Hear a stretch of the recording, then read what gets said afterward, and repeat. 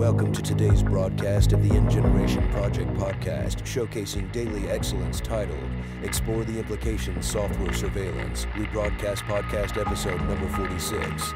Join us as we delve into the latest global insights with our special guest, Michael from Council of Time. We're privileged to tap into the wisdom of Michael from COT, a revered Christian apologist. For deeper insights, visit the official Council of Time website linked below. Join Council of Time in spreading God's word and truth in these crucial end generation times. Your support drives our mission and unlocks the transformative potential of a closer connection with the God, the Most High. Please show your support for the Council of Time. Now, before we delve into today's rebroadcast podcast, explore the implications software surveillance episode 46 a heartfelt thank you for your unwavering support. As we journey together, we're committed to maintaining this podcast ad free. Your backing enables us to share God's word far and wide. Remember to subscribe, like, and message us for daily excellence in your life. Now, let's embark on today's exploration of surveillance implications in navigating the complexities of our world. Now, let's get into End Generation Project, the broadcast podcast number 46 Explore the Implications Software Surveillance. Blessings to all.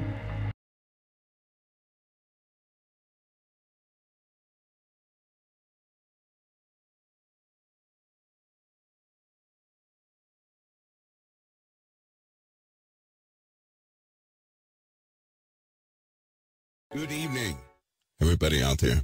See you guys again. I hope everyone is doing okay. Hopefully. Hold on, guys. Let me adjust this. How do I sound? Pretty good? You guys hear me okay? Tonight, uh, late tonight, I'll be back on air for a small discussion. I will. And someone yesterday, good for you, kind of looked up those uh, companies I said were closing. Well, they came out with a uh, some sort of an announcement with a uh, more than a thousand uh, store chains are closing. To understand what's happening and to understand these closures and to understand recent uh, comments by three-letter agencies. Uh-oh. I hope you guys are ready. Do you, do you all understand what it means when the CIA tells everybody to get ready for spiritual warfare? When the FBI tells everybody to get ready for spiritual warfare? When billionaires and trillionaires tell everybody to get ready for spiritual warfare? Do you guys have any idea what that means? We've been reading Revelation, talking about the beast. The system of the beast, everybody has their opinion. And it's going to be a prosperous set of uh, kingdoms. But do you understand the closeness of what we all face? Anybody? Do you? Two months ago, I believe I talked about, uh, what was it, a month ago, Bitcoin or something like that, right? You know, Bitcoin went from, what, 21, now it's at 73,000. You guys aware of that? It's going to go way up there because they're going to utilize that system. It's a very intricate system that will be utilized. Power structures will change. You guys are right in the middle of it. Right in the middle of it. The food situation, it's also starting to alter. Everything is altering. It'll become painfully obvious due to ambitions announcements, many announcements. And it's going to become very confusing to a lot of people Because most thought one thing would come about, right? Now, in order for people to get a clear picture of what's happening, I'm going to go ahead and tell you that many ideas are going to be proven wrong. What most think will come about will not. And just about all of us will be blindsided. Those of us who do not have spiritual clarity yet. But if you belong to Christ, you're going to have the greatest comprehension of what that means during these times that are ahead of us. You guys know what day it is? The COT uh, countdown, do you guys know what day it is? Anybody out there know what day it is? Oh, also, uh, they passed a bill concerning AI. So they have a panel now, a panel, and four agencies that will govern the, the uh, legalities of AI. Are you guys aware of that? So that means AI regulation is in, and they had no choice but to do that. Sadly, AI is not well understood as to what it can and cannot do. But it is extremely powerful. Extremely powerful. The next step, the next thing you guys will see, is a vast change in your online social media habits. Is, is anybody out there aware of a software company called Aware? Anybody uh, you know about that company? It's called Aware. It is a software company that records every conversation on social media, on cellular networks, on computers, on everything, right? And uh, this company this, uh, I'll call it a framework, has captured quite a bit. But there's a problem. The same people who are having conversations in private, it's now giving information to about the individuals they're talking to. We went over this a long time ago. You guys remember that? Our conversation about uh, if anybody discussed anybody else, how that person would receive messages from the individuals that talked about them. For example, if Robin and I were talking about uh, consecrated, right? Consecrated would get a transcript of what Robin and I discussed. That's what's starting to happen. That's beginning to happen. Do you know what that's going to do to the Christian community? Hmm.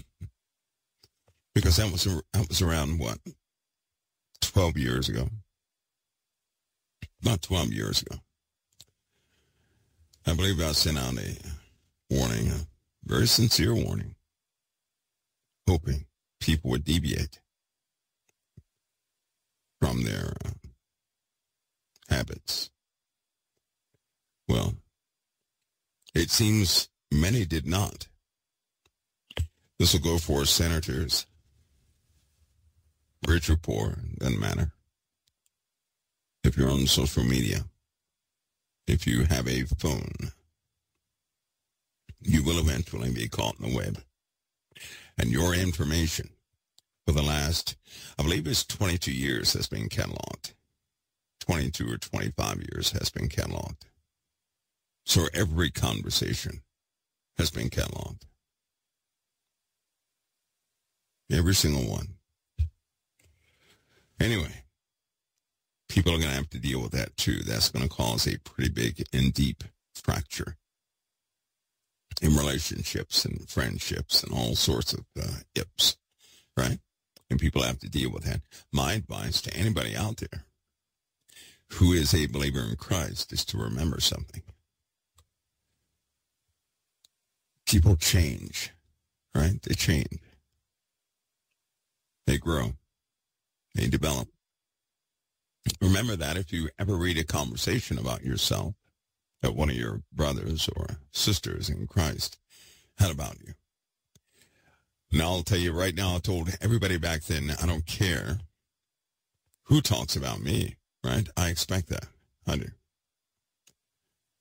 So you won't be my enemy despite what you've said. You won't. So don't worry about that for me. I don't live my life that way. Right? But uh, for all of you who may not have that type of forgiveness in you, right? This will be a trying moment. This will be a make or break moment. And that's only the beginning. It's only the beginning. So these weapons of darkness will increase. They're going to increase to a degree that all of society is going to be probably counted useless. People will not embrace each other as they once did. Backstabbing at an all-time high. Reputations ruined. All sorts of things.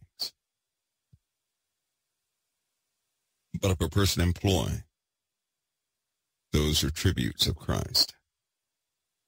They don't have to worry about that. My days will be calm. They will. They'll be as calm as possible. Certainly not people problems, right? I tend to uh, agree with the gospel in many aspects, all aspects, especially forgiveness. I just hope that uh, many of you are the same. I'm not, personally, I don't have to worry about any conversation going to anybody I was talking about. I really don't. But a lot of people do, right? Because a lot of people were not at that maturity rate, that, that level of maturity where they would um, be consistent, right? In and out of you, being the same person, often people get caught up in conversations about somebody else. They agree with opinions they probably shouldn't have. And when all that's known, you know, some people are going to have some consequential things. And that's not the only company who is launching AI products that have actually performed things they never counted on, right? Hmm. AI is, is enormously challenging it's going to be impossible to contain. And it will grow beyond its barriers. I hope that all of you are ready for that.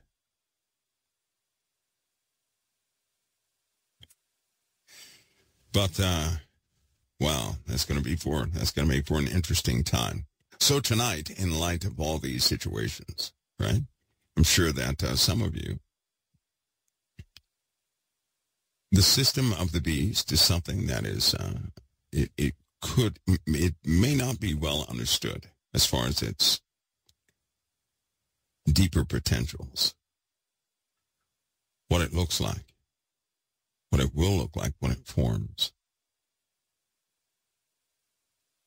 I'm going to talk about some of that briefly tonight. My hope, right, is that you guys are armed, not with uh,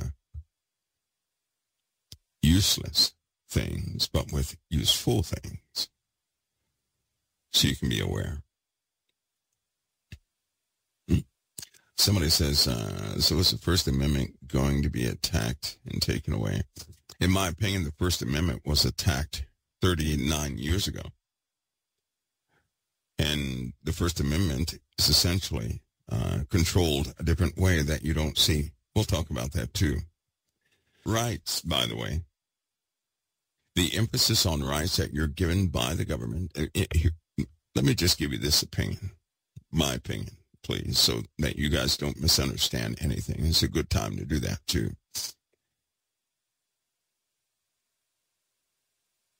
The government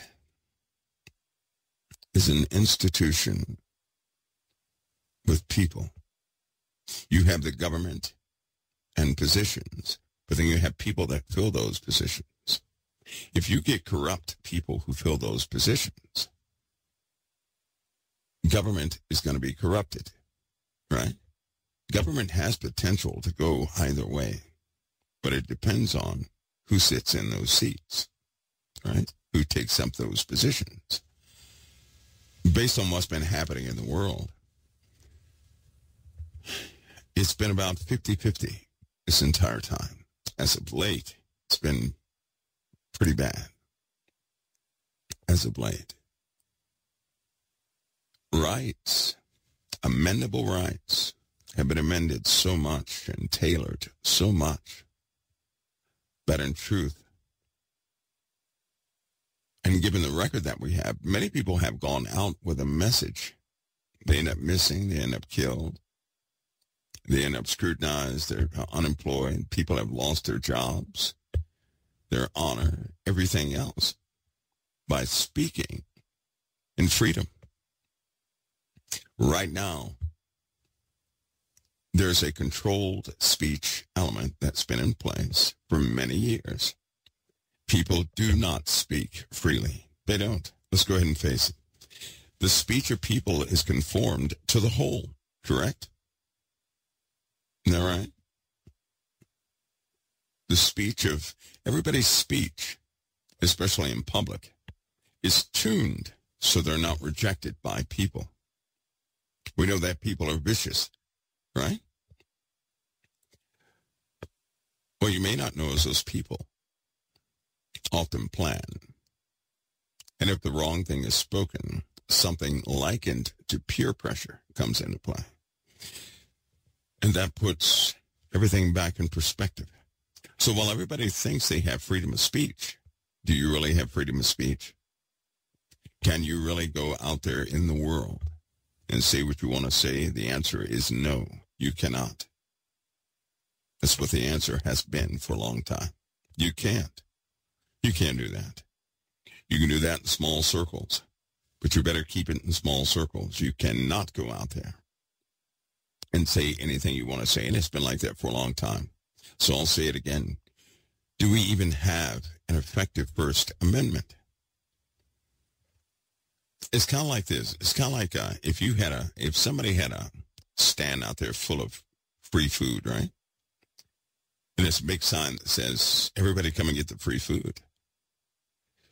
Now you have a bunch of upstanding citizens behind a barrier. Nobody wants to be seen getting free food because if they do, they just had a conversation about how low status individuals get free food. Everybody over here wants to be seen as high status. Is anybody from that high status group of people or anybody period going to get the uh, free food while everybody's looking? No, they're not. Why? They can go get the free food. There's no consequences from that. The consequences are the people. Remember the other night when I said the problem uh, was within the nation. The bigger problem that we face in this nation are those who were born in this nation. Remember that? It'd be so easy to make it something else. Do we have a drug problem? Yes. Do we have other problems? Yes. Right? We do. We have a drug problem because demand is high. Let's go ahead and face it. right? We do. Demand is high in so many different areas of course, there are going to be people who find themselves, you know, going into business for the U.S. providing drugs because the demand is high. But what will take this nation down is not any external force, but an internal force.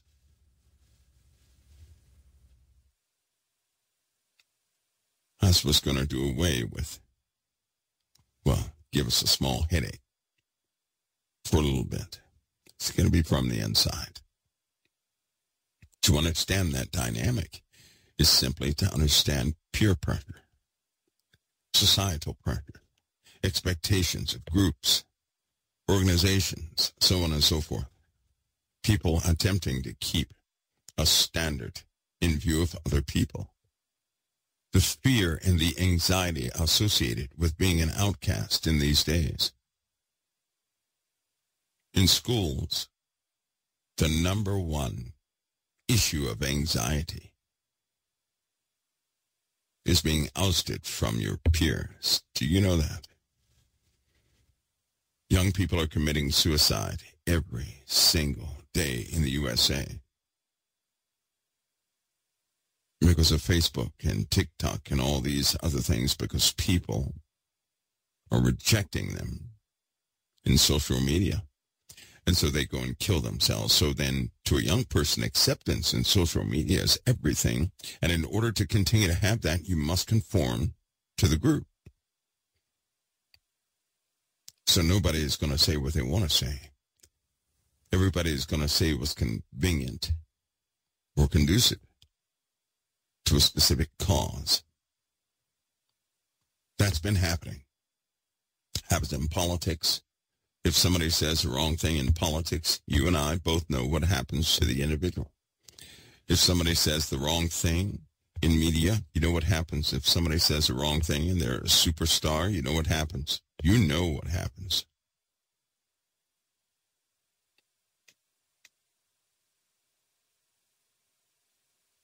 We even have a First Amendment? Sure.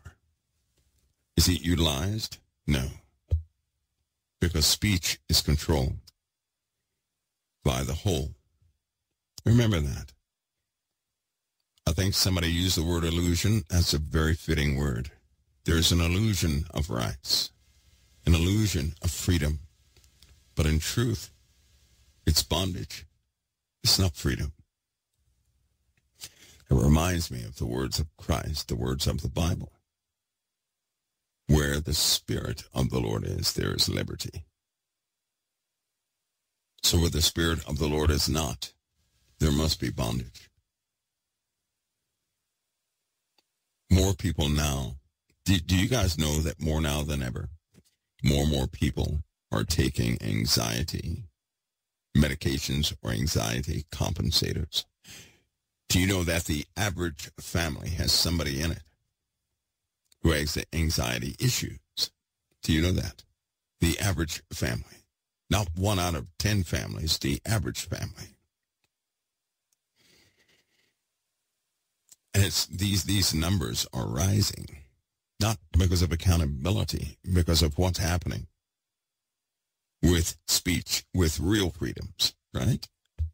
Everything is becoming a challenge. Everything is becoming some peer-based standard and it's reinforced by consequences of society. And those consequences come by way of social media. In fact, if you mess up, everybody in the world's going to know you messed up. If you go down, everybody in the world's going to know that you went down. It's a very fragile society. You know what that forms? We talked about this at, you know, at least 15 years ago is the mob mentality. When Yahoo was out, I could see a habit forming. I could see something coming. And what it was was borders from nations are taken down. When one child or one person can talk to another child or another person in another country, and they can compare their two lifestyles, one of those children is going to reject their entire culture because of social media. And when that happens, that child is going to lose respect for where they are, desiring to live in the other place. When you do that on a national basis, you're going to have rebellion against all leadership, and it's only a matter of time before it takes an absolute toll. We live in a time now where it's going to take an absolute toll. Think the people in the USA only have an issue with their government? No, most nations have been putting a plan in place starting in 2024 because they see a breakdown coming. Finally, they see a breakdown coming. They know a battle of battles is coming. And they are preparing for it. They're being quite bold about it, too, and they're not hiding nor mincing words. There are going to be some choices you believers are going to have to make. And those choices are going to be final for many of you. My advice again, consider, have integrity about your ways with the Father, and learn to trust him right away.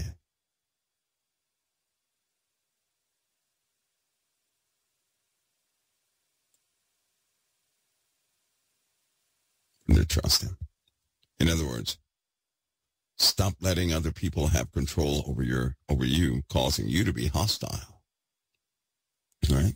Don't let other people control you that way. I know that happens. I've seen it happen through small trends and changes. I can see it taking effect. And that's for many of you. I can't help but to observe. So uh, don't let that, you know, please don't be offended by that. I observe everything. I do. And if you guys change because of what you agree or disagree with, imagine what's about to happen to the entire earth because of pressure. We certainly live in a very different world. So again tonight, I'm going to talk a little bit about this beast kingdom, these various systems that are being put together that will quickly evolve to become something nobody count on. I personally do not believe it's going to be conventional. And still at some point we have to discuss the spiritual component to what's happening here. There is a massive spiritual component. Physical interactions happening every single day that people are largely ignoring.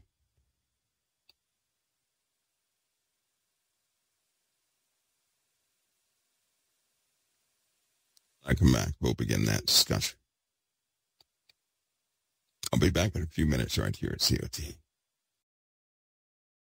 Back, everybody. We are back, everybody. I have a question for you guys before you start asking questions. I do. Did the people in the past, did they listen to the prophets? If you believe they did, type a one. If you believe they did not, type a zero. Did they listen to the prophets? Yes or no? That's a pretty big, uh, pretty big question. Curious to know. What do you guys think?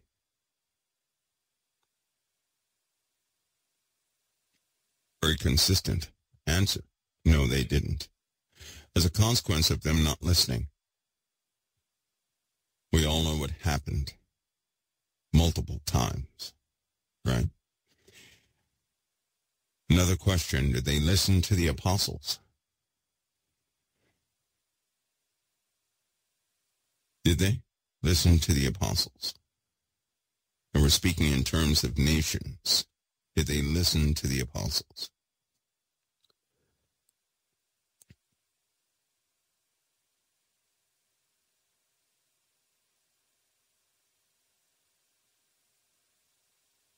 Nations did not listen to the apostles either, nor did they heed to the warnings. They didn't. They didn't. Does anybody know why they didn't listen? I know it gets into the uh, dynamics of these stories, but does anybody understand why? Is there a reason why they didn't listen?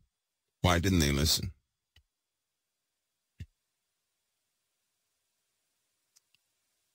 Anybody know why?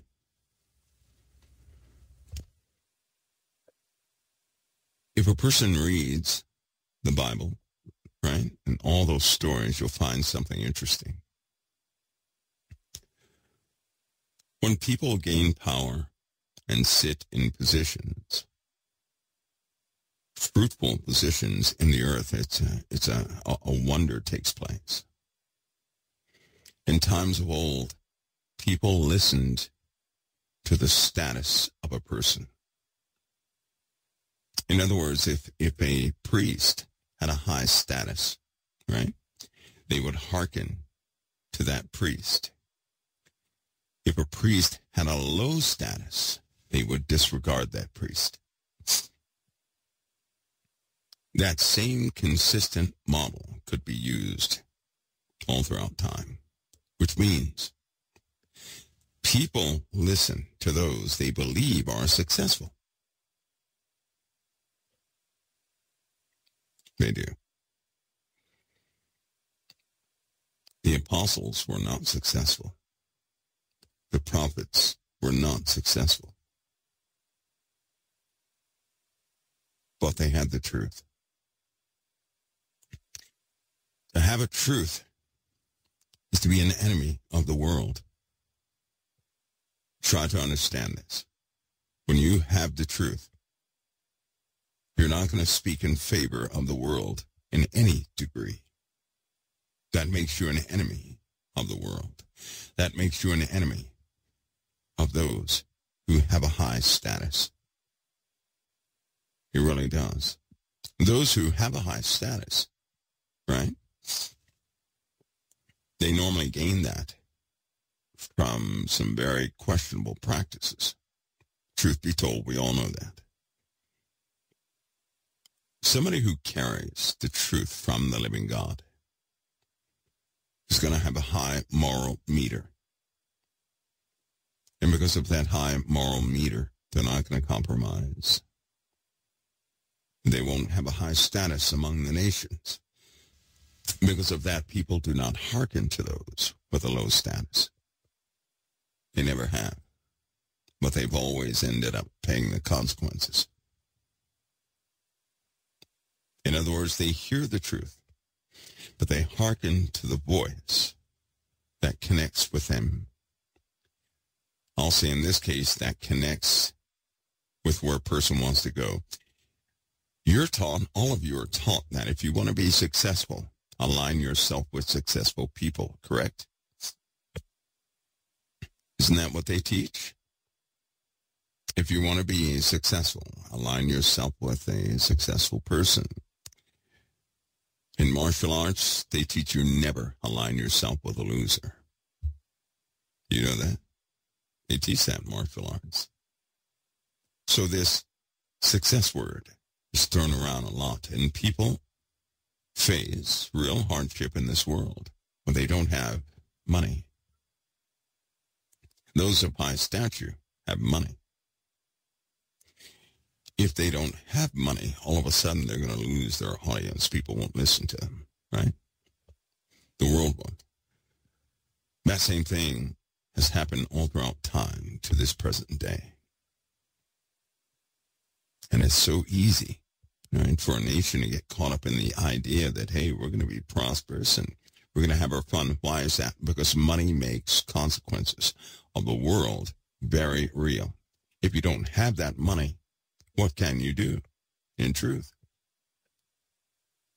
Many people live in hardships because they don't have money. And they know what those hardships are, right? Many do. Those people who have money, they seem like they're very happy, right? Very, very outgoing, this, and the other. It causes a person to want that instead of the hardship. There's a type of cruelty that goes with hardship too. We all know this. So in other words, to be to be successful in this world is to escape that hardship that many are acquainted with, but never want to look back to. And so when someone starts telling a truth, it does not align with that path of success the world often speaks of. In fact, they began to expose the darkness of climbing to the top, so to speak. Nobody likes that because it challenges their position. right? It speaks against how people keep their status. So they're enemies of this, of nations and of the world. Now, what does that tell you? If this is true all throughout time, does the world like the message of the gospel of Jesus Christ?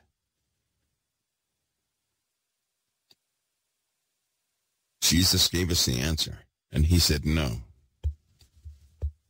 He said no. But where does that put us? Puts us in a very sticky situation, doesn't it? Because many of you know sometimes it's almost like choosing either or, right? There are certain things Christians of today will not discuss because they don't want to deal with giving up all of one side just to follow the other. And they're trying to find a bridge between the two. Do you know that Israel did that same thing? All these fallen nations did the exact same thing. The priests of those days accommodated some sort of a bridge where people could have their cake and eat it too. And it backfired miserably. In every case, when God did judge his own people, they had somewhat of a final message to walk fully in his ways and abandon all else or perish with those who disobey him. Believe it or not, the majority perished with those who disobeyed him.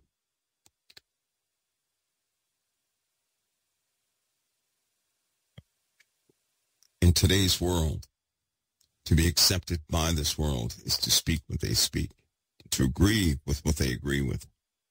Those who dare to be different are ousted pushed away, excommunicated, because they hold fast to a truth.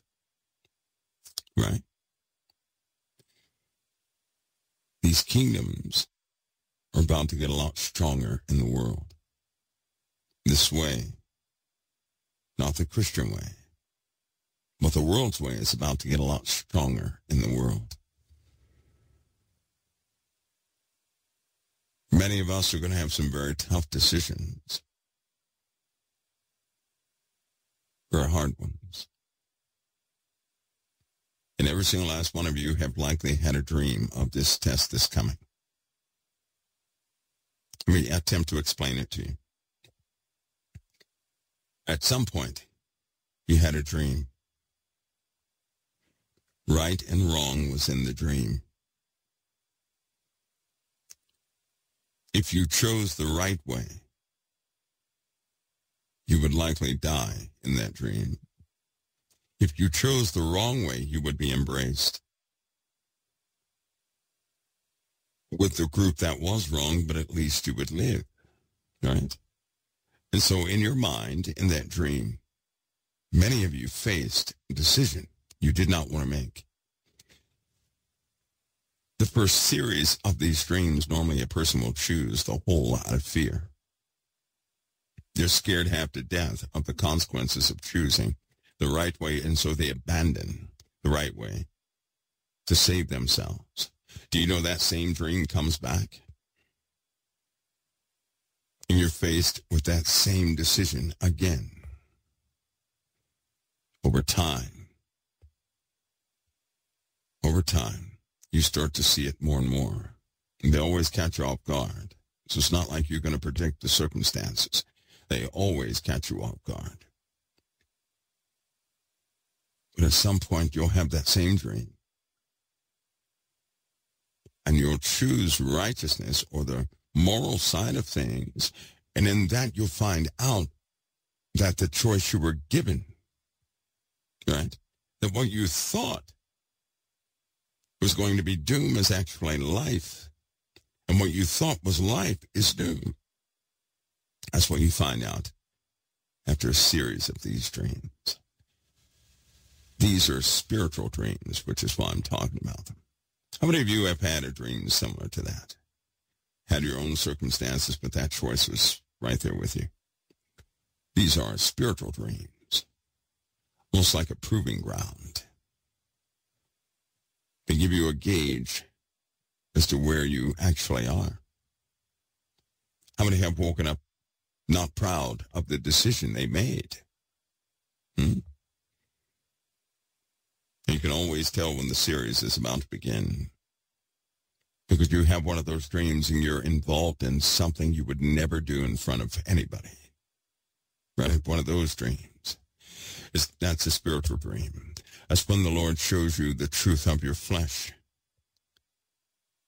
of your own desires, and you wake up and you're saying, thank God nobody saw that, right? Nobody knows about that one. But do you guys really think those dreams come just to, you, you think it's happenstance, coincidence, or something like that? Or is the Lord preparing his people for something? Do you know how many people probably, well, I know they have those dreams, but do you know how many people in the world are not paying attention to the smallest aspects of their own lives, like that dream, like those series of dreams? And how can that be true for so many believers?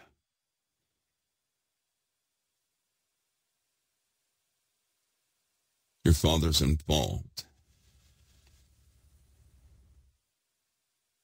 And he certainly is preparing his people for something that has real consequences. But the world those of the world, they disregard such things, don't they? Those of the world, they compensate. They say, hey, don't worry about that. That was, you know, that's of no consequence at all. Right? They walk by sight only. They don't consider everything.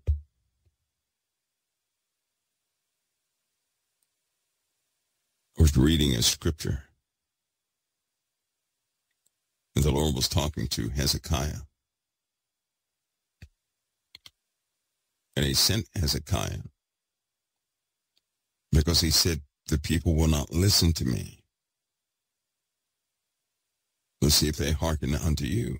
And I thought about it. I said, wait a minute. I've heard that term too many times in the Bible. The Lord saying, in fact, in Ezekiel, same thing. He sent Ezekiel. He said, the people will not hearken unto me. Neither will they hearken unto you. And I thought about it. I said, wait a minute. So the Lord told all these prophets that the people would not hearken unto him. When was he speaking? In that same Bible, the Lord speaks of the many ways he communicates with us. The things the world will disregard is your Father's speech in your life. Constantly. Constantly in communication with you. But I said the world will not hear him. They won't hearken on him. They won't pay attention to his speech. Don't you find that uh, striking? That the Lord always speaks to us he speaks truth to us, but the world does not listen to him. And all of you who answered in accordance with those dreams, you just verified a clear message that the Lord is working and operating and speaking. But we can't be like those in times of old or in present times who will not hearken unto the voice of the Lord, who speaks in many aspects of our lives. See, when the Lord speaks, he doesn't speak a different thing to each person. He speaks the same thing to all of us. The same exact message, which is why he sent a prophet with one message for all people. So you know that when he's speaking, he's speaking the one thing to all of us and collectively, we can verify that speech every single time. Don't let people fool you into saying that can't be done. You just did it. You just now did it.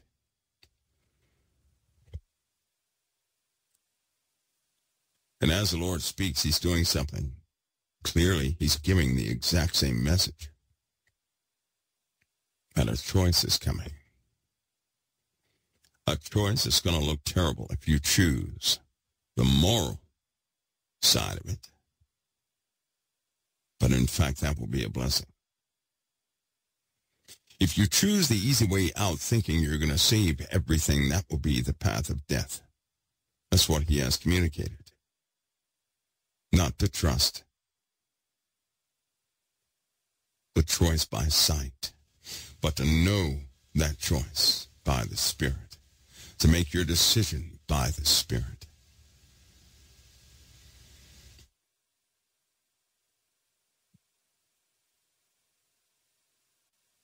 He speaks loudly these days.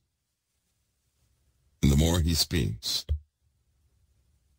well, the more the world dives into some esoteric realm, getting people's minds ready to refute things of faith.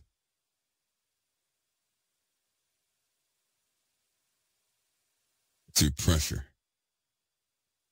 threatening tactics to get you to agree and to negate faith, to walk against faith.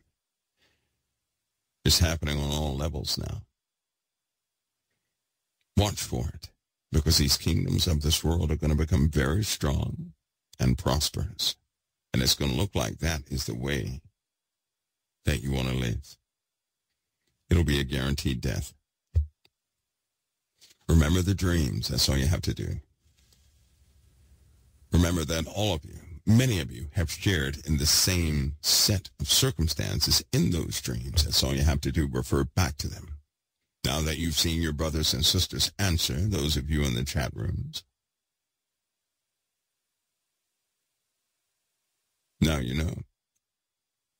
Those of you listening who can't see the chat rooms, lots of folks are putting ones in there because they had that same series of dreams. Those are spiritual dreams. Now the time has come where we shouldn't respond by fear at all. Did you notice in those dreams there was always time to analyze the issue? God made sure you understood the issue, didn't he? You understood the choice. See, that's one of the major things. While everybody gets excited over the conditions or nervous over the conditions. They understood the choice. And as you understand the choice, so make your decision based off that understanding that your Father has given you.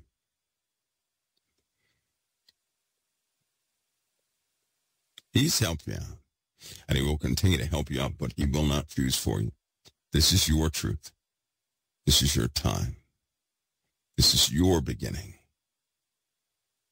And of course, Satan will do everything he can to make you choose death over life. You know in the Bible when it says they call good evil and evil good? The reversal of things. Things will look one way but be another. That's happening right now before your eyes. And you have to start to apply that spiritually to your walk of faith. Never forgetting what your Father has already given you because what he's given you is precious. It's above board. It's quite amazing. It builds confidence. It will help you every step of the way. All you have to do is recall it. Because these kingdoms of this world, you know how everybody, I uh, listen, I know I do not agree with most people out there. I already know that. And most of those folks know I'm quirky and I don't agree with them either. Right? But again, I have to go with what the Lord gives me. You're going to see a system form so luring and tempting that if you're not careful, you're going to choose it in a heartbeat. But I mean by tempting, I mean this. Imagine the average person is out there struggling, right? You're trying to make ends meet. You're trying to keep your whatever you have for the sake of your family. Keep them reasonably happy. But all of a sudden, opportunities start popping up out of the blue. I mean, big opportunities. Finances start coming from all different directions.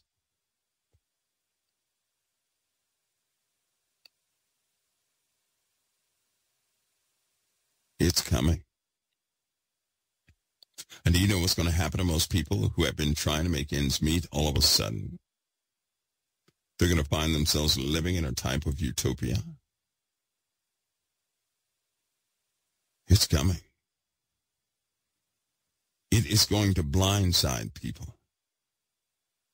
All those folks, right, who people think are politically corrupt, all those folks are going to be going away.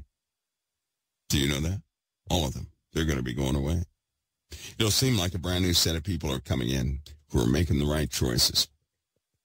Life will become more fulfilling. Very fulfilling. Many will take part in the prosperity of the of the newness of what's about to happen. It's going to seem harmless. It's going to seem like the right choice. But during that time, people are going to start being indoctrinated in ways they never thought possible. When I say indoctrinated, right? When everybody around you is happy, when everybody around you is content after having such a hard time, and all of a sudden, right? All of a sudden they're happy. You start getting out more. You're accepted. You start agreeing and with things that they agree to. Happens every time. That means suppose you're a person of faith, but all of a sudden your life changes. You're now happier. You have new friends, right? Listen, that means when they have conversations, you'll start agreeing with certain aspects of that conversation before you know it. If you continue to hang around that group, you're going to agree with the whole conversation. But that conversation is going to be based on immoral practices, ideologies. You know how you just turn a blind eye to a conversation? People will do that more and more. But by doing that, they'll further involve themselves in more conversations. And over the course of just a little bit of time, many will start compromising their spiritual values. In Revelation, when the two witnesses lay dead in the streets, what did the people do? They celebrated. They gave presents to one another. Where did they get the money from? What does that tell you about that kingdom? What does it tell you? The kingdom of the beast. He told the world that they should make an image to the beast. Where they get the materials from? Prosperity was happening. That kingdom of darkness is going to look like the best thing that ever happened to this world. It's not going to have horns on it. The Lord has already warned us that Satan will manifest himself as an angel of light. That means he'll manifest himself as the answer. It's going to look like the right thing to do, the right idea. It's going to be like a vacuum that will suck everybody in that it can. Now, once your status in life changes, those of you who struggle now, once your status in life changes, you're not going to want to give that up. So I need to remind you of something here. Many of you have been in life, and I've heard your complaints. I've heard so many people say so many times, when does it ever get easier? You don't want it to get easier. You struggle all this time, and all of a sudden at the end of the matter, you're going to have massive prosperity. If you take it, listen to me, if you take it, you're not going to so easily give it up again. Do you know that? After being under pressure for so long, once you're free, once you live free like that, you're not going to want to give it up. You'll start saying anything you can say to keep it. That's the hook. That's the hook. You'll start compensating everything and compromising everything about yourselves to justify why you should keep what you have, why you should stay where you are. All of us need to be reminded we called out on the Lord because of pressure, didn't we? The Lord showed us that there was a power greater than us, the individual, that was pressing us down on many different sides. It could have been financial. It could have been moral. It could have been with your families. It could have been with life or death with a spouse or something like that. But it caused us to seek the Lord. We sought the one thing, the one thing we could trust at that time that could do something about the issue that we had. And that was Christ. That was the Father. Don't forget that. Because in these times coming up, there are going to be people who have built the trust in the Most High. Listen to me. They're going to be usurped by these systems. They're going to start enjoying themselves and having things they never had before. And they're not going to want to give it up. And because they're, they're not going to want to give it up, they're going to start compensating. For every rule in those kingdoms, they're going to say, well, it's okay. And God's okay with this and God's okay with that. And God's not, you know, he's not going to be mad at this and he understands this. Then you're going to notice that the entire Bible is going to alter right before your eyes. That's already happening because you have a lot of people building that bridge now. I just heard a minister say that violence was okay.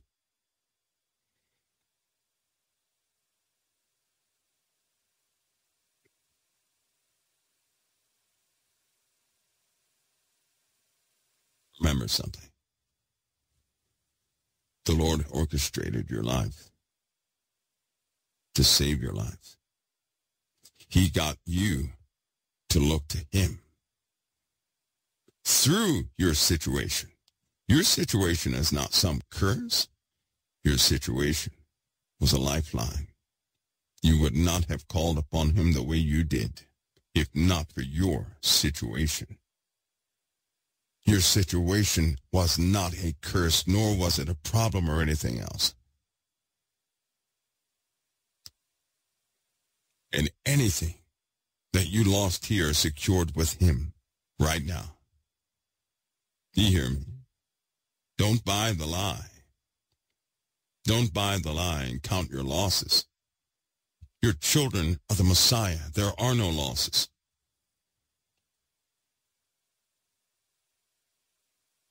Your life has been orchestrated to get you to turn to Christ. You didn't have to, but you did. And he responded to you. That faith you have in you that was put in you that you would believe. So that means your father was looking for you from the beginning. And he was mindful of you from the beginning to orchestrate your life to have it saved. All your problems and circumstances and everything else did nothing more than to start stripping flesh and ideologies off of you that you would turn to Christ in truth. He ruined some of you by way of the flesh only, so you would not go out and spoil yourselves in the world. And because you thought you were spoiled, you thought less of yourselves. But you turned directly to Christ. I hope you understand that. I really do hope you understand what the Lord has done in your life.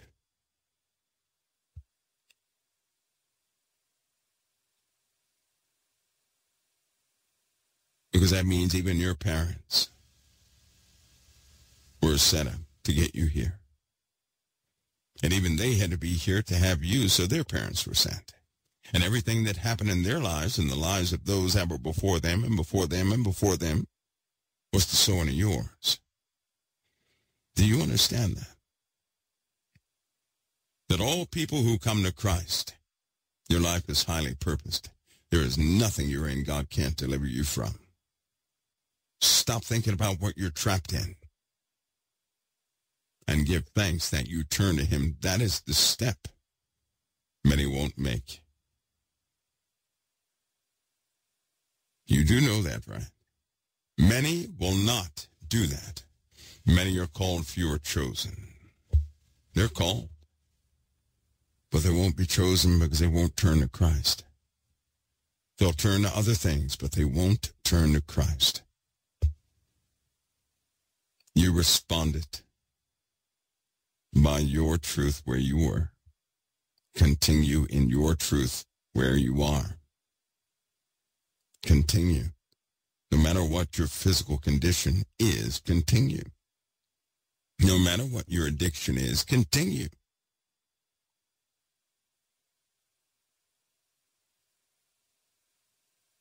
You know, when your mind says, gives you this task list of everything you have to have together before you go to Christ, stop listening to that. You know how a long time ago they used to say, come as you are? But they didn't really mean it. Well, I mean it. If you're stuck like Chuck, then come as you are. If you're shackled to something, then come with the shackles. Come as you are. Not the ones that break anything off of our lives. The Lord is. Many of you are shackled for a reason to show you that you're not going to have them broken by anybody else. Some of you should know by now that nobody can help you in your problem.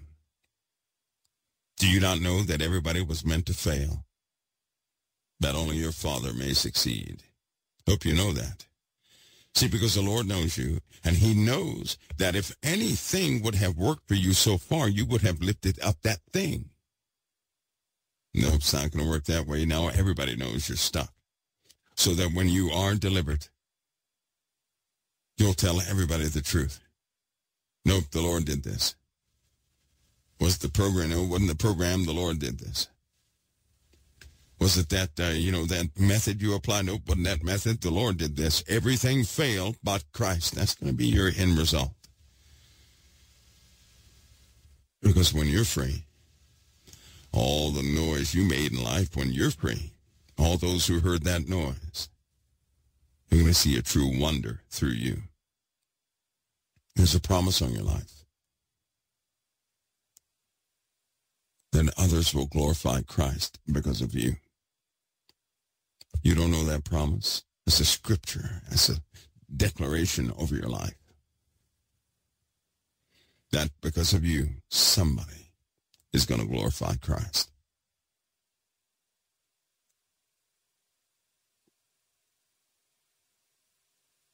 The word says that Christ will be glorified in his saints. A saint is not something a person will name themselves ever. What man calls himself is not what God calls him. If the Father calls you a saint, that's what you are. If a man calls himself a saint, he, he just messed up. He can't do that. That's a title only God can give. And Christ will be glorified in the saints. Your life is being used. Bring honor to the Messiah.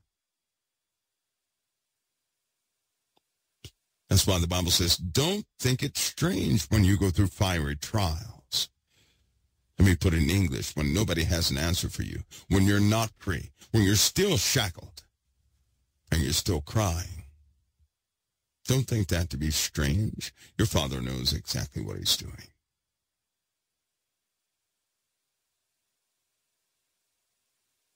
He knows.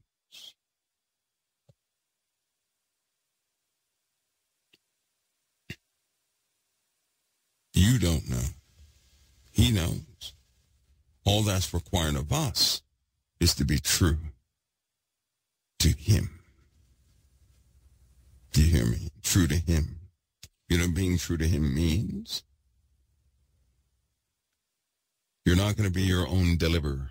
You can forget that. Out the window. That's not going to happen. How many have tried to deliver themselves only to go back into bondage again?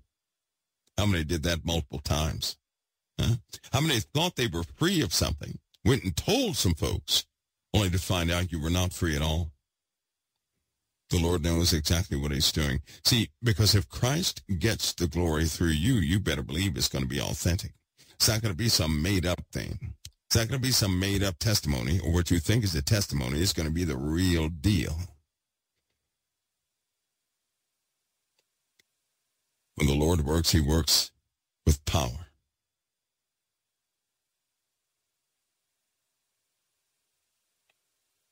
So the real deal will come through you. There's only one. Only one. That is your deliverer. And he's not earthbound. You are in good hands. See, because one day you're not going to be in this body anymore with the aches and pains and the addictions and the shackles and everything else and the reputation. You're going to be free from all that. You're going to be untouched and brand new. And in that moment, you're going to realize, wait a minute, nothing ever hurt me. Nothing touched me. Nothing harmed me. The only thing that could ever happen to me on earth was that something would touch and get to my flesh, but it never touched me. It has no residue. I'm truly free. And see, if you get there like that, and you find out you've never been touched, Don't you think your Lord wants you free? He wants you free from that idea that somehow you messed up so bad, right? Because in truth, you're going to be brand new. You're going to find that you have never been harmed. You've never been tainted. You've never been touched. You have no scars. You have no wounds. You have no anything. That everything that happened to you on this earth only happened to your flesh. That's what you're going to find out. But you yourselves are going to be brand new. Now, how many people will have given in to everything here on this earth because of their flesh and blew the whole thing? Hmm? They will have blown the whole thing over an outfit. Your flesh is like a clothing. That clothing can be exchanged. You, the wearer of that clothing, nothing is ever permitted to ever touch you that way. So you've never been touched. But your clothing has been ripped, scarred, chained to things, abused, and everything else. But when you take it off, all the conditions of that clothing no longer exist. And just how would a person feel when they find that out? When they find out they cursed God because their shirt got ripped when they find out that they cursed and disobeyed God because their pants got cut off. Hmm?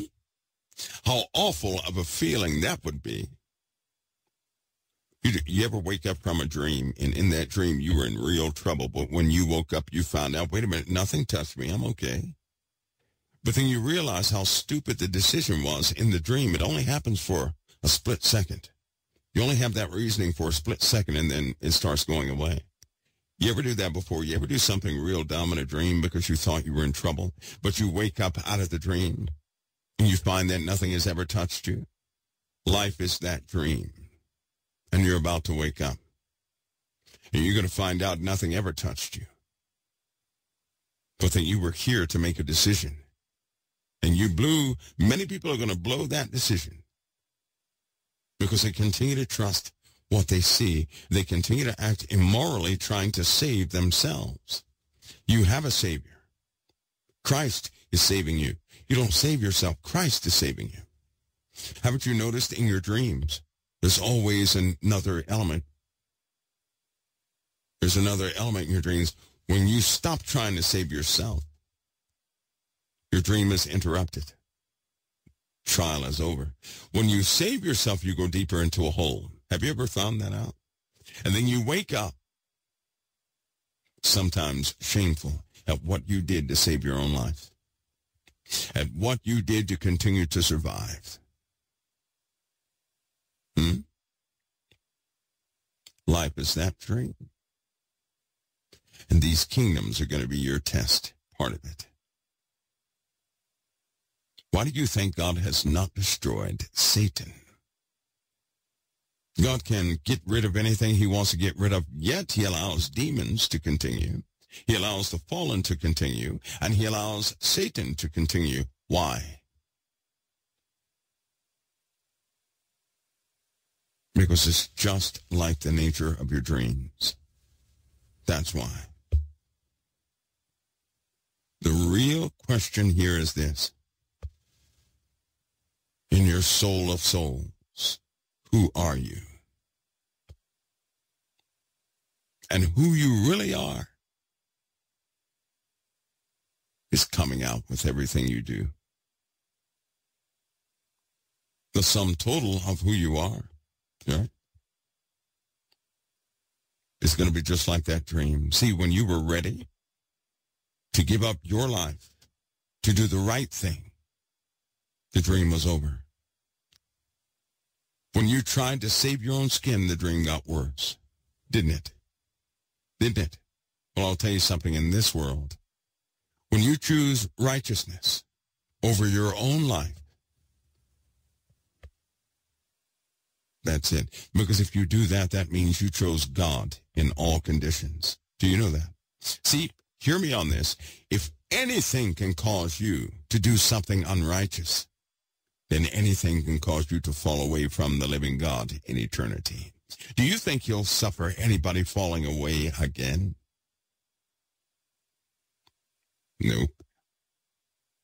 Do you think you'll suffer anybody changing their mind, being lured away by anything in the kingdom of God ever again? Nope. When you choose righteousness in a dream, even to the point of death, your dream is over. When you choose unrighteousness, you only do so to save your own life. And what that means is, what that translates to is this. If your existence is ever threatened somehow in eternity, or if something arises that will threaten you, you'll easily turn on the Father to save yourself. That will not be a son or daughter of the Most High.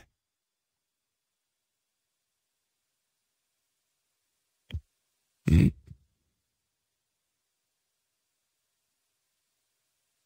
Yeah, that is. That's why in the Bible it says, right? In the Bible it says, those who seek to save their lives are going to lose it.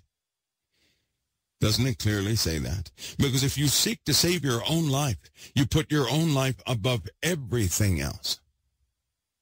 That means you cannot be trusted to be loyal to anything for your life is in danger. That's what that means. Do you see it?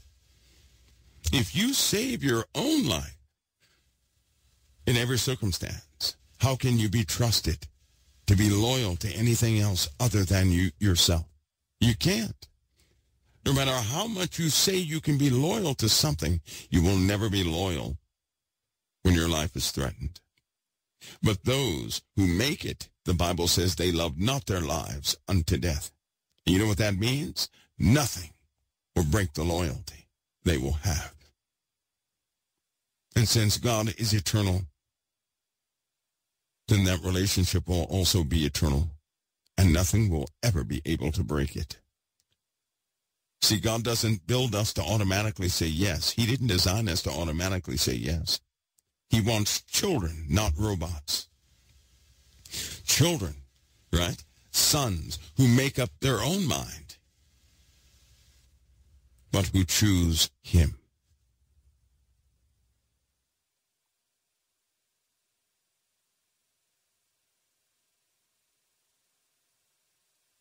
You all see that?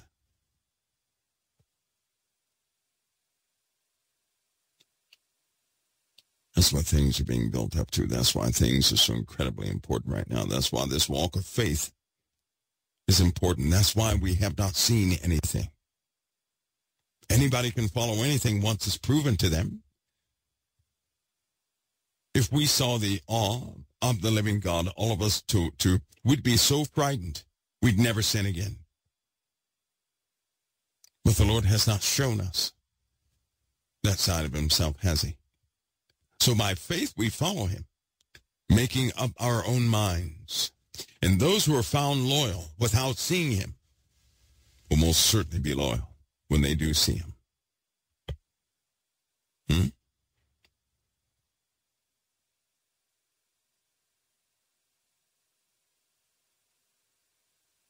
Even in my own life, when I have to see something, it means I never believed it in the first place. That's what it means. And I've noticed if I have to see something to really accept it, I will scrutinize it. And I always find something. I do. If I were to ever accept something by faith, I never have to scrutinize it. I simply appreciate it when it's in my presence. I've noticed that.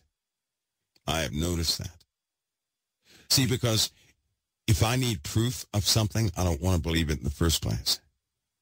There it is. Mystery solved. When you need proof, you don't want to believe in the first place. You don't want to believe it.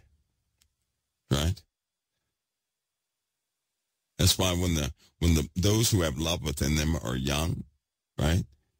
They can be so easily tricked. They love love so much they're willing to believe all things of love. They are. And so they can be duped when they're young. They most certainly can be. Hmm. Somebody says, uh, Mike, why did Peter deny Jesus three times and still be forgiven? Because the Lord, he denied him. He gave a message. He said, you can deny me, right? He said, Peter, you're going to deny me three times before the cock crows. Peter said, no, I'm not, Lord. I'm going to be with you forever. He was showing Peter something. Listen to me. You can, Peter was just starting out, by the way, right? And he was boasting of how he was going to follow Christ all the way to the end. And Jesus said, no, you're not. Don't you sit there and brag on yourself and say that you're going to follow me all the way to the ends of the earth. You're going to deny me three times before the cock crows. That's what he said. You know, when you have people out there saying nothing, nothing is going to cause me to stop saying that. To stop saying that. The Lord is doing things. He's, he's preparing your life. He's raising you. We can't raise ourselves without the Lord. We're not going to make it. He's the one preparing us. Listen, if I didn't have certain dreams, I would have fallen flat on my face many years ago and never got up again.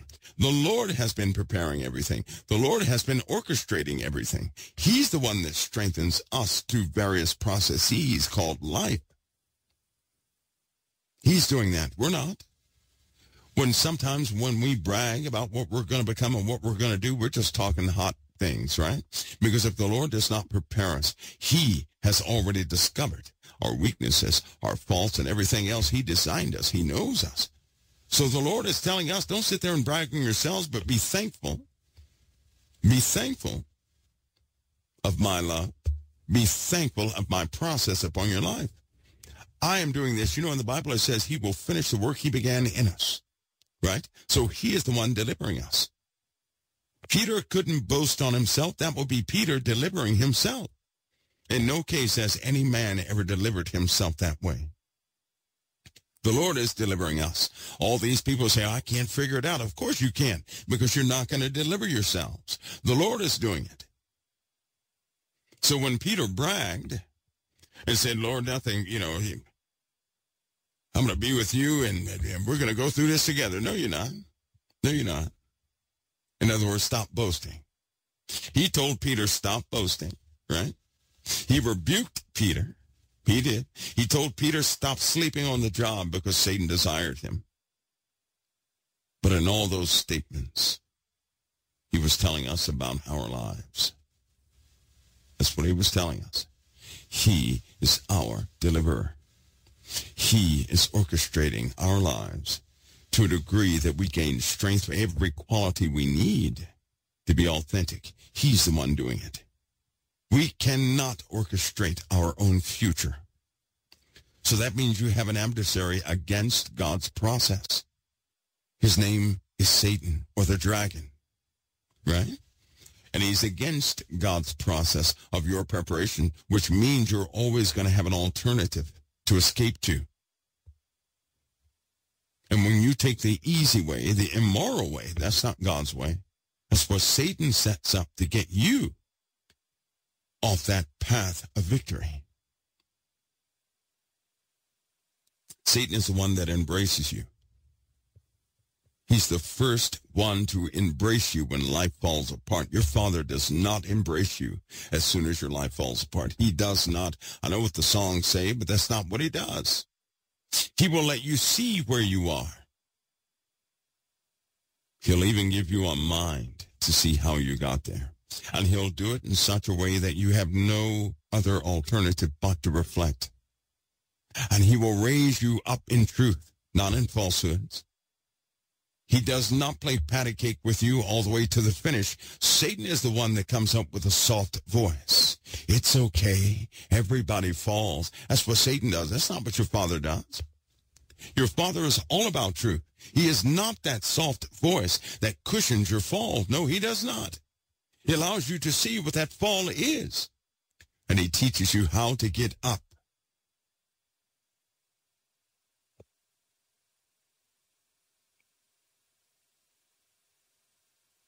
You know those people that come into your life? When you're way down, down, down, they come into your life and they're down too. But then when you start to go up in Christ, they get angry at you and separate from you. Huh? Who sent that person? Not your father. Your father doesn't send you somebody who's going to keep you down in life, who does not like him. No, those are agents of Satan. They're sent to get a grip on you so that you will not spiritually break free. They're sent to keep you right there in this spot away from the living God. They are there to manage how much you can get of the gospel. That's why they have something to say every time somebody speaks the gospel into you, here they come. Here they come to take it out. Here they come to challenge the seed that was sown into you because they do not want that seed to grow in you because they will lose if it does. And if you believe their rhetoric, you'll start to emulate what they said. And then you'll end up asking somebody else, I can't be helped, can I? You'll start speaking just like they spoke to you. But that's good news. Now that you know. When you start speaking like the negative person that was in your life, now you know what the problem is. You also know how to break free. You break free by pressing towards Christ, no matter what. You don't break free by smacking somebody. You don't break free by boasting and doing all that stuff. Nope. You point yourself towards Christ and you go, you go full speed straight towards Christ, no matter what. Because now you know you have an agent. Now you know that you're speaking the same doubtful things they did to you. And now you know where it comes from. And it did not come from your father. It came from an agent dispatched to you to keep you in one spot, and that is down on the ground. Time for you to stand up. Stand up by facing Christ. And start walking toward him. The Lord said, come follow me. That's what he said. It's that easy.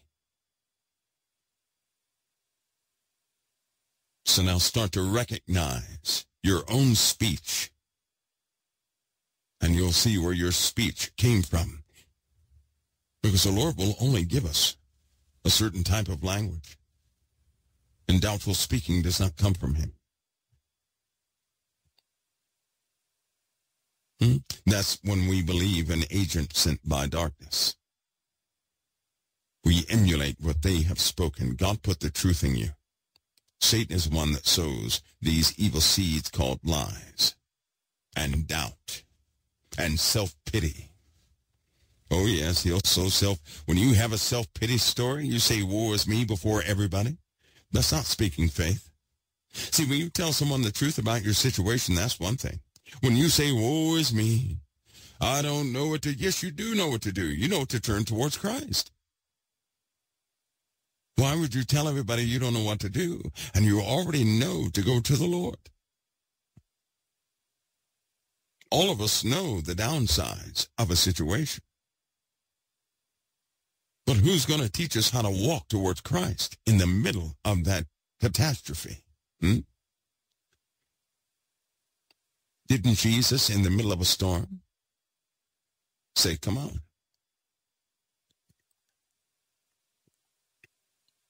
Didn't he say, don't be afraid? Hmm? Did they say that?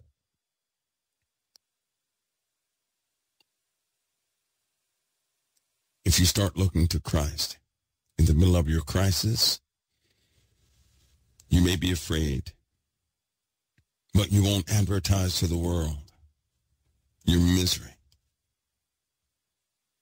What you will start doing is say, wait a minute, I know my life is shambles right now, but I have a hope.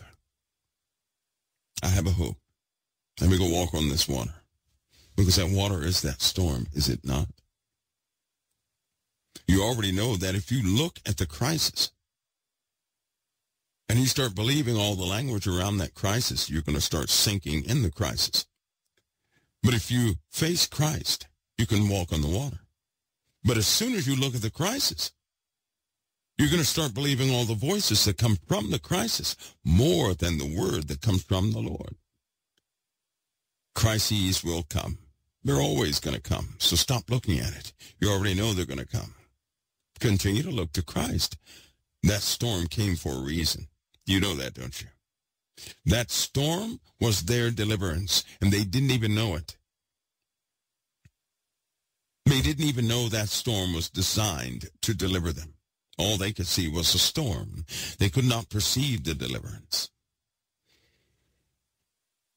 The walking on the water thing was extra.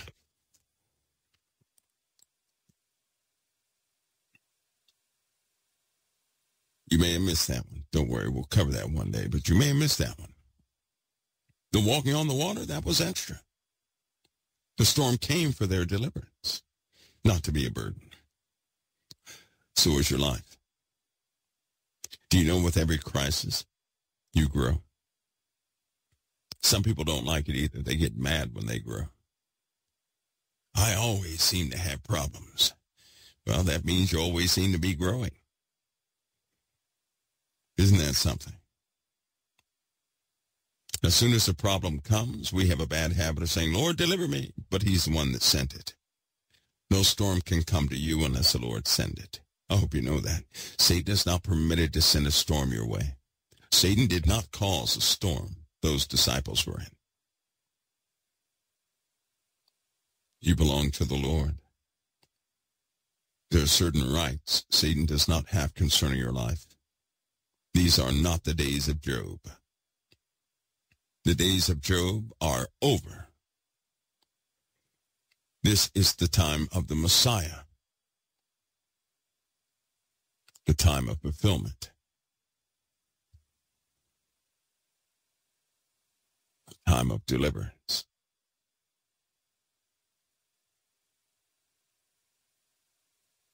Folks, I'll be back in just a few minutes right here at COT. Okay, I'm back, and yes, I said it. God sent that storm. All right, let's get this part straight. This normally happens, right? Part of today's thinking, not your fault. So let's put everything in perspective. How did Satan touch Job? Could Satan just run up and touch Job? Hmm? And why was God so kind to Satan? Did you read the book of Job? Did he not say, Satan, what's your problem? What's wrong, buddy? Huh? So let me break this down to you real quick so you get it. There's our Father, who is the creator. Nothing exists without him. Satan was created. He fell. Jimmy cracked corn. So what? The fallen angels fell. Jimmy cracked corn. So what? Whose power are they under? By what power do they exist? The living God. And again, Job. God said, what's wrong with you? Well, no one is worthy of me. Everybody is so easy to corrupt. Have you considered my servant Job? Sure I have, but you put a hedge around him, and I can't touch him. Uh-oh, I can't touch him. Okay, Satan, I'm going to take the hedge down. Now, you can't take his life, but you can do everything else. Okay, yippee yippee, and Satan goes and does his thing. Who sent the storm? Satan can't so much as fart without God's permission, right? There you are. He does not exist without God's permission. Fallen angels couldn't even fall without God's permission. Those things that come out of the bottomless pit can't do a thing without God's permission. We all have it now, don't we? So our Father allows or disallows. There is no one operating by total autonomous, total autonomy.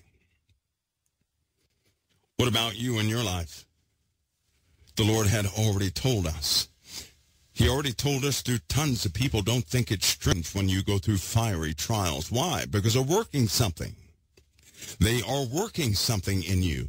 They wouldn't come unless they were working something. Why did Jesus speak peace to that storm? He said, peace be still. My goodness. Did he say, go, get away from me? No, he didn't say that. He did not say that. He said, peace be still. He is the word of God, the same word that sent the storm, right? Said, well, time for the storm to stop. Peace be still. The same one who sent it is the same one that said that's enough. That's enough. Just like your issue. At any moment, Jesus can say, that's enough. And the storm has no choice. Your issue has no choice but to subside.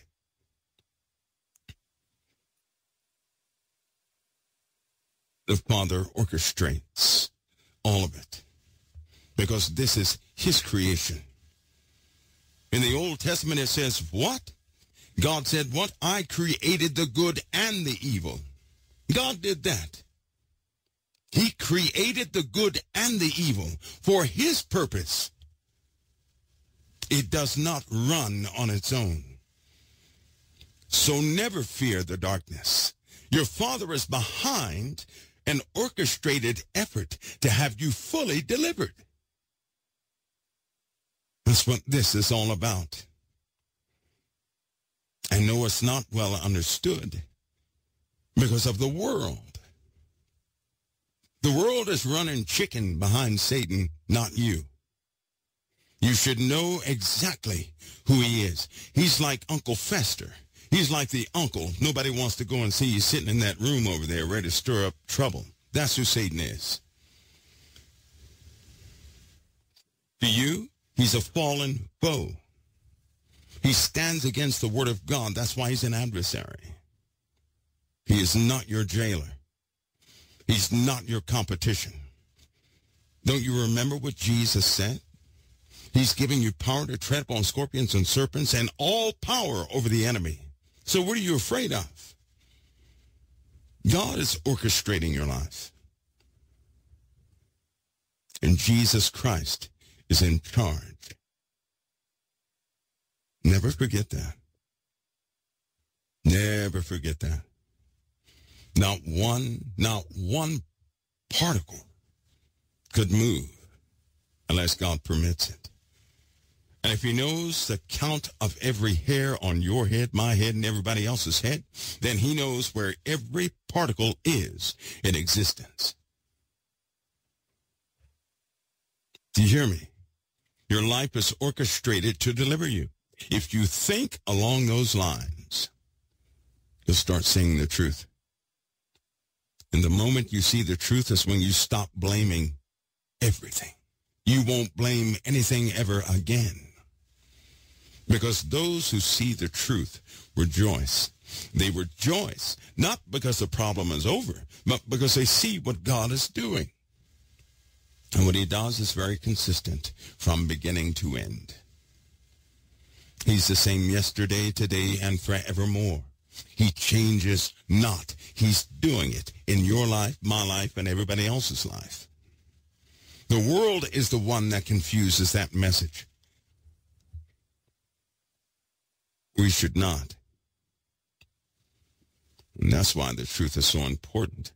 It's also why the truth is fought so much. Now you know. So never fear these things in the earth. No. Have an understanding of what your father's doing. You are a living soul. Do you know what that means? If somebody came and shot you to pieces, that does not destroy you. That doesn't destroy you. You're a living soul. Bullets don't work against the soul. Nuclear weapons don't work against the soul. They don't. None of that stuff does. The only one that can destroy your soul is your Father in heaven. Nobody else has authority nor power to do that. That means you're an eternal being. My goodness. And here we are, afraid of splinters, annoyances. Hmm? Understand who you are. Understand what God made you to be. Understand his process of deliverance in your life. That's why the gospel of Jesus Christ, that word gospel means good news of Jesus Christ. Now your iniquities can be fully removed. That's good news, isn't it? Everything you ever did wrong can be fully removed. You know what that means? That's absolute deliverance. That's a guaranteed deliverance. That's why it's good news. That's why. Absolutely good news. Hmm?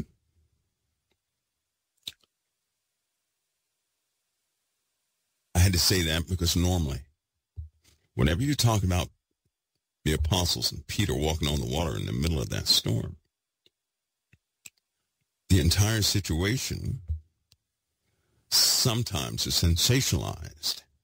And so is the trouble of that situation sensationalized. And oftentimes we forget who the creator is and what he has dominion over and what he has assigned to us, what he has assigned to all. Most importantly, we forget this entire story is about us. Do you know that? The entire story is about you.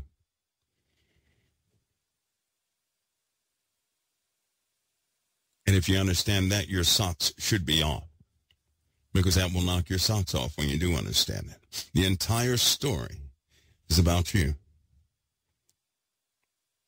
That's what all this is about, and all eyes are on planet Earth right now because of you, because of the story, because of the birth that is about to take place. Remember who you are in Christ.